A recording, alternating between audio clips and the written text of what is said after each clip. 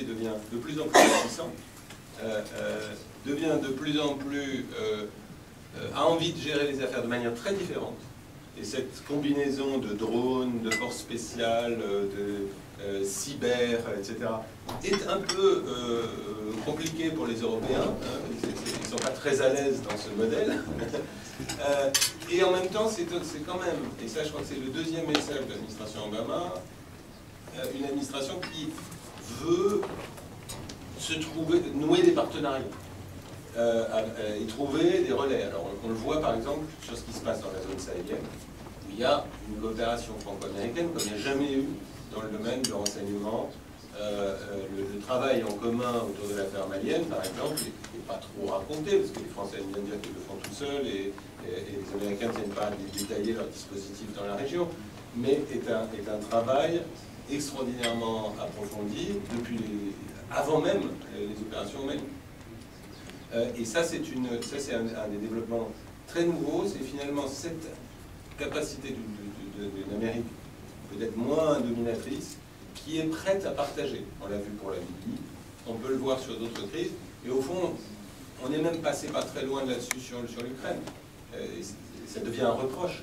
C'est-à-dire que les Américains nous reprochent d'avoir... Oui, oui, mais, c'est forcément parce que euh, nous n'avons pas les moyens, nous n'avons plus les moyens de, de faire nous-mêmes. Donc, il faut avoir des partenaires... Euh, Uh, even though reluctant partners, um, you know, that's, that's a problem, right? Oui, euh, simplement pour ajouter euh, un, deux, euh, c'est important de comprendre euh, au fond l'Amérique s'est divisée lui-même, c'est très divisé politiquement euh, et très fatigué aussi. Euh, un peu énervé avec le reste du monde. Euh, c'est une sorte de psychologie, euh, c'est défensive, c'est un peu puéral, à mon avis. C'est un peu sorte de réponse de jeunesse. Et pour Obama, tout le monde est un peu déçu avec lui. Le monde est déçu avec lui je pense qu'il est dessus avec lui-même aussi. Euh, parce que cette présidence, ce n'est pas exactement ce qu'il veut. Il est très fatigué, au sens qu'il uh, goes through the motions. Uh, il, il, apparaît sans passion avec son travail. Le monde apparaît très très difficile je suis d'accord avec Camille, euh, c'est un monde très difficile, mais il y a un sens, euh, non seulement à Moscou, que la volonté des États-Unis est plus faible maintenant. Et nous répond. Et les Chinois aussi. Euh, les Chinois, c'est très intéressant. comme tout le monde le sait, nous sommes euh, pouvoir pacifique. Euh, c'est plus important peut-être pour nous que le monde atlantique.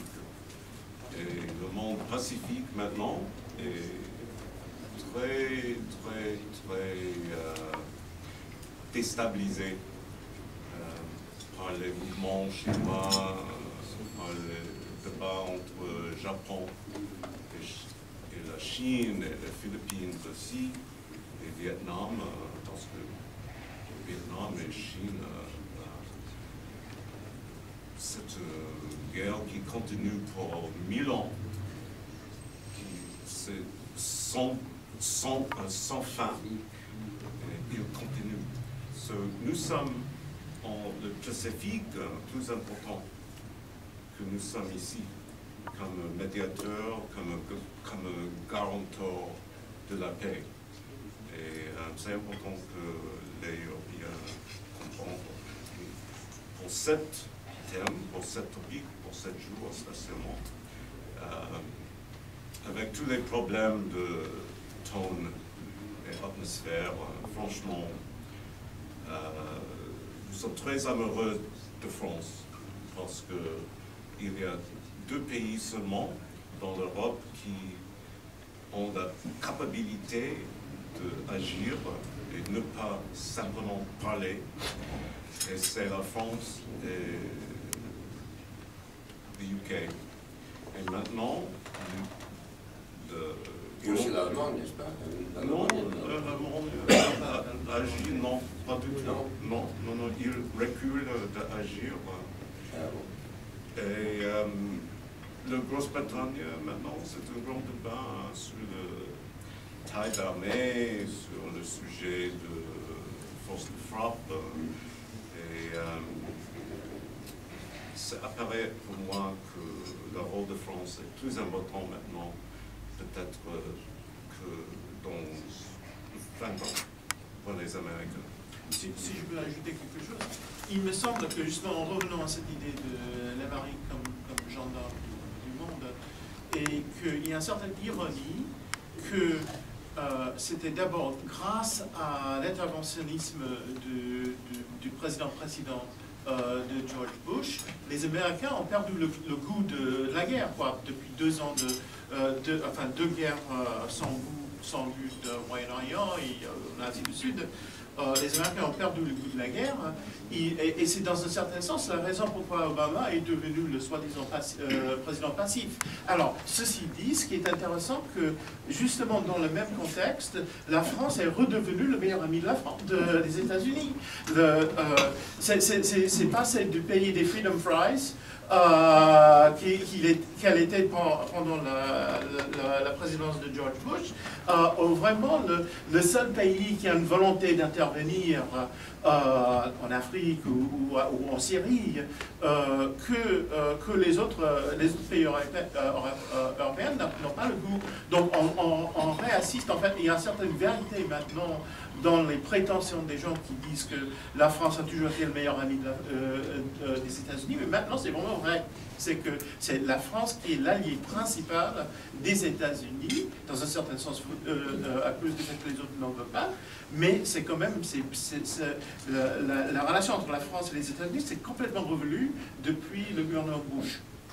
Si je peux un mot juste là-dessus, parce que c'est amusant, euh, on est dans une situation paradoxale où, les, on sera arrivé, là, dans les quelques dernières années, à côté français, a réalisé euh, ce qui était un objectif pendant 40 ans de la diplomatie française, qui était d'établir un triumvirat. C'était une proposition du général de Gaulle euh, euh, en 1958, faite aux, Américains britanniques, de dire organisons un directoire à trois des affaires occidentales. Cet, objectif, qui à l'époque, il s'était fait renvoyer dans ses buts en disant comme on l'a rappelé hier, vous n'aurez pas la bombe atomique, euh, on ne vous aidera pas, et quelle, est, cette prétention de vouloir euh, un, comme on dirait en Angleterre, sit at the high table, euh, donc être à la table des grands, et, maintenant on passe d'être réalisé.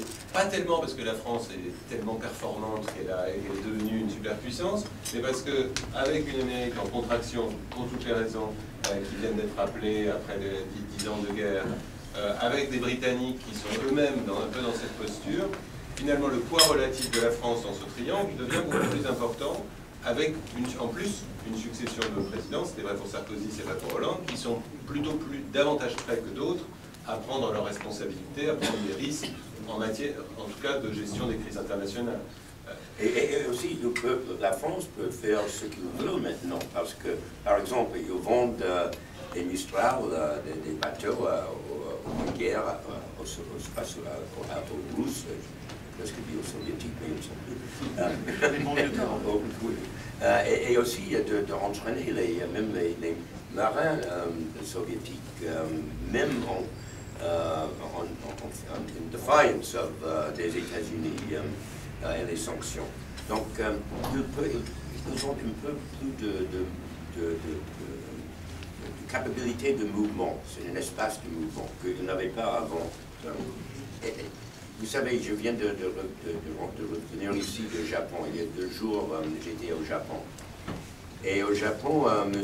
Abe, le Premier ministre japonais, il a dit à Singapour que le Japon euh, vont assister tous les autres pays de, de, de, l'Asie Sud-Est pour se défendre contre les Chinois.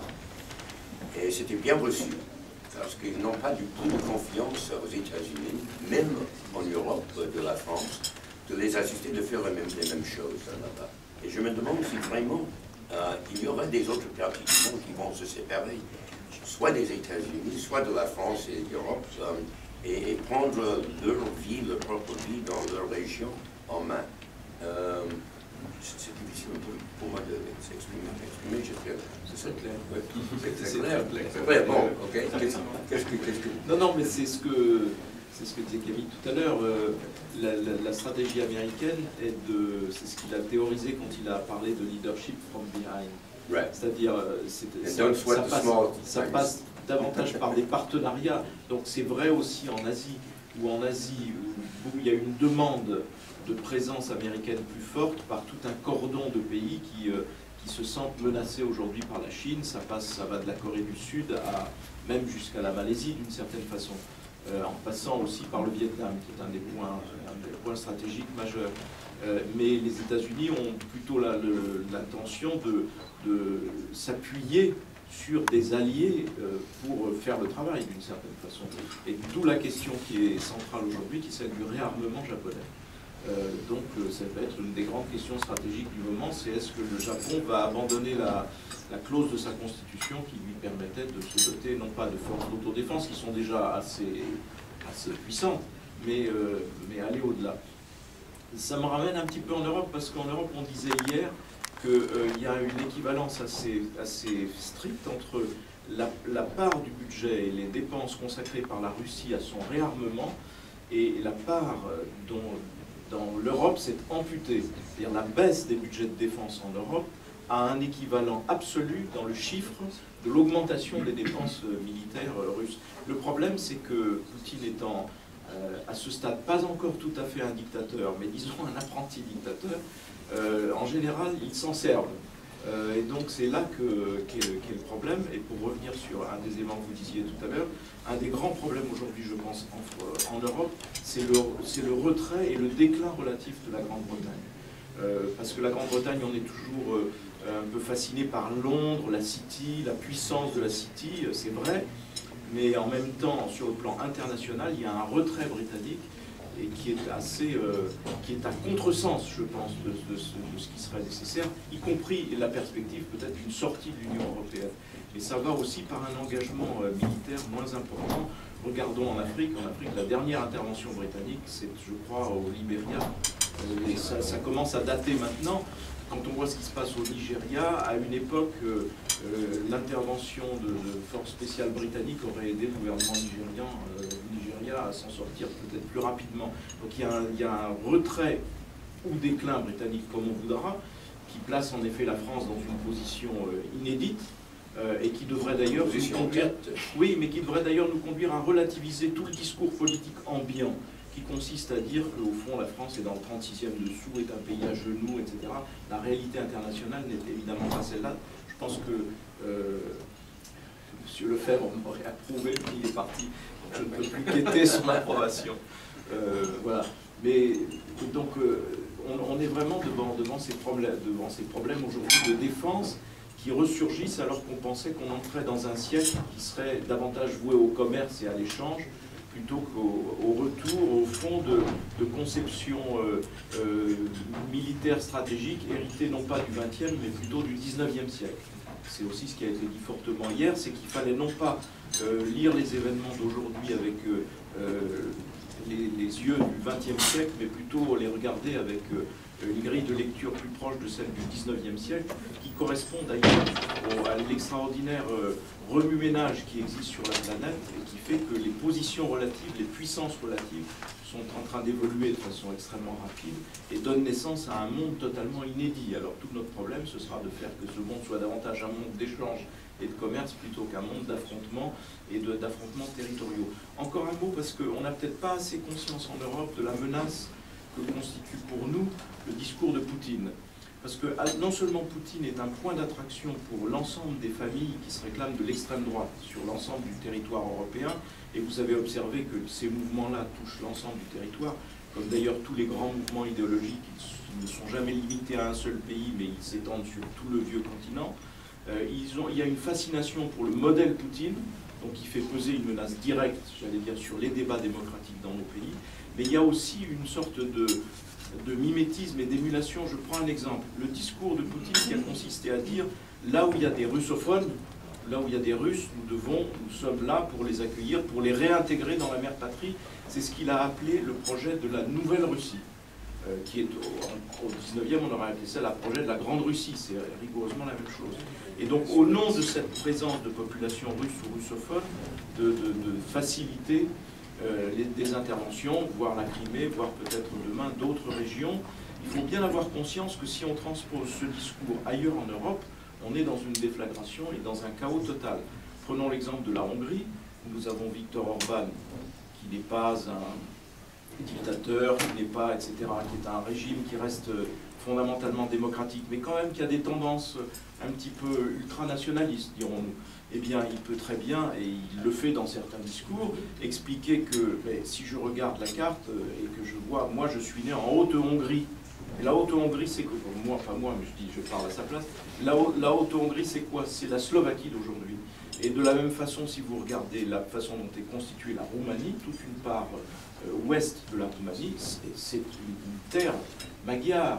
Donc, euh, au nom de cela, on peut avoir des revendications territoriales en Europe euh, qui, seraient dévastatrices. C'est pour ça que Poutine, à un moment ou à un autre, doit doit comprendre qu'il y a des limites et que ces limites, il les a très largement franchies avec l'annexion de la Crimée. C'est tout le débat d'aujourd'hui. Oui, avant de discuter le,